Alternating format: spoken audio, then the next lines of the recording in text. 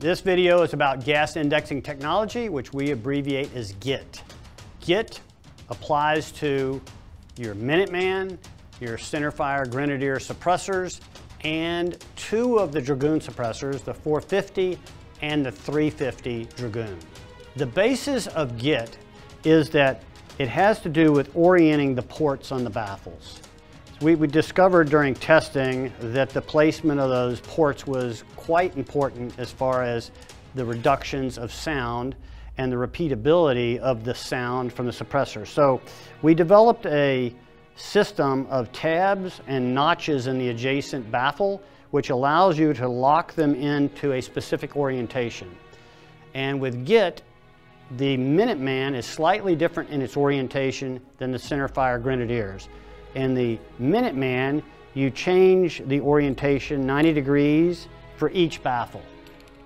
And that gives you a spiraling effect, and that, that reduces another three decibels of sound when you put a 22 suppressor as an example on a 22 rifle versus a handgun. It's going to reduce that down three decibels more than you could achieve by just leaving a fixed orientation suppressor, which is standard in the market. On the pistol, it's going to be somewhat the same, except that you're going to take these baffles and orient them 180 degrees between the different ones. So you're going 180 degrees opposite with the port each time, each every other baffle. And that achieves the same thing of that three decibel reduction when you put it on a rifle.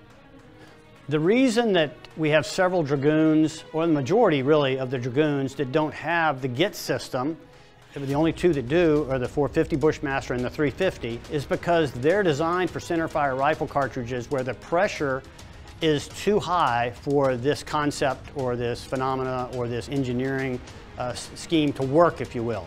Uh, you have to have lower pressure platforms like pistols and rimfire for it to work. So those rifle suppressors that, that handle those larger, heavier calibers, then they're going to be fixed in a way where when you put the baffles together, they're forced to have the port straight. And that's why we have those excluded from the GIT.